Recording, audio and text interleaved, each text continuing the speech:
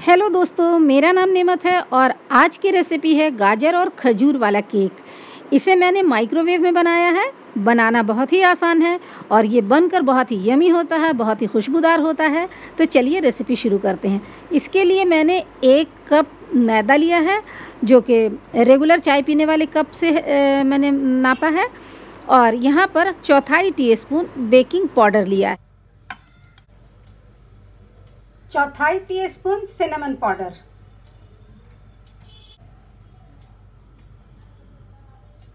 one eighth teaspoon salt एक दूसरे ball में रूम टेम्परेचर पर रखा हुआ दो अंडा ले लें। हाफ़ कप से थोड़ा ज़्यादा मैंने यहाँ पर ब्राउन शुगर लिया है। आप रेगुलर शुगर भी ले सकते हैं।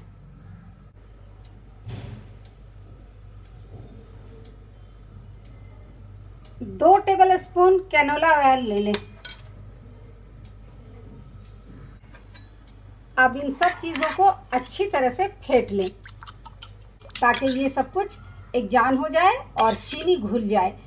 इस केक की सबसे अच्छी बात ये है कि ब्राउन शुगर की वजह से इसमें एक बहुत ही कैरामेलाइज सा टेस्ट आता है, और ये रेगुलर चीनी से भी बनने के बाद अच्छा ही होता है।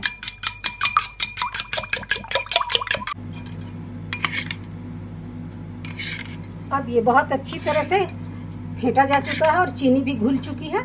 तो हम इसे अब ड्राई इंग्रेडिएंट में मिलाएँगे और साथ में थोड़ा सा दूध रिज़र्व में रखेंगे।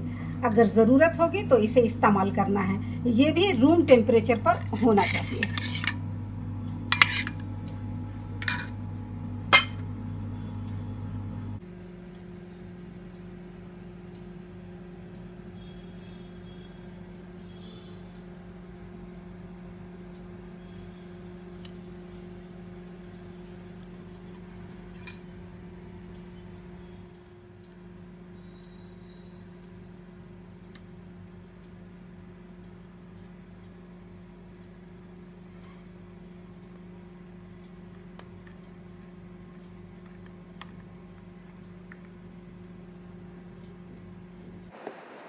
अच्छी तरह से मिक्स हो जाने के बाद हम इसमें घिसा हुआ गाजर और कटी हुई खजूर शामिल कर लेंगे।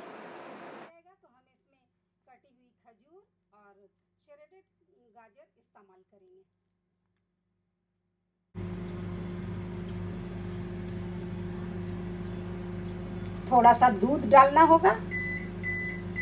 अब इसे फिर से फेंट लेना है। यहाँ पर मैंने एक गाजर को और तीन खजूर को कतर लिया है और इसके अंदर की गुठलियों को अलग रखा है। उसे इसमें नहीं घिसा है। तो अब इन चीज़ों को भी हम केक के बैटर में डाल देंगे।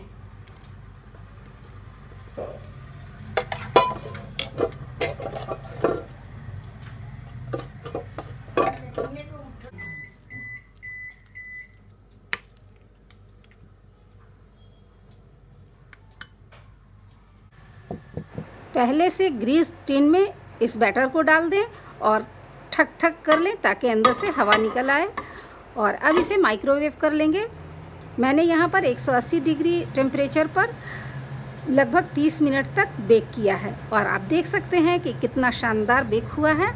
अंदर से भी ये बिल्कुल चिपका नहीं है, क्योंकि मैंने अच्छे से इसकी ग्रीसिंग कर ली थी। अब आप रेडी केक को देख सकते हैं, इसकी स्लाइसिंग कर लें। और आप देख सकते हैं ये कितना फ्लफ़ी और कितना अच्छा तैयार हुआ है ऊपर से क्रिस्प और अंदर से गुई गुई सा। तो उम्मीद है आज की ये डिश आपको पसंद आई होगी। आप इसे बनाएँ, खाएँ और लोगों के साथ शेयर करें। उम्मीद है आपने आज की वीडियो को इन्जॉय किया होगा। तो मिलते हैं फिर किसी दूसरी रेसिपी के साथ। Thank you for watching my video